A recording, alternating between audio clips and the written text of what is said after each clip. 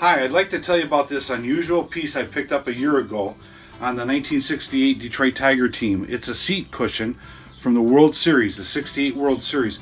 But the unique thing is, when you flip it over, I have 31 autographs.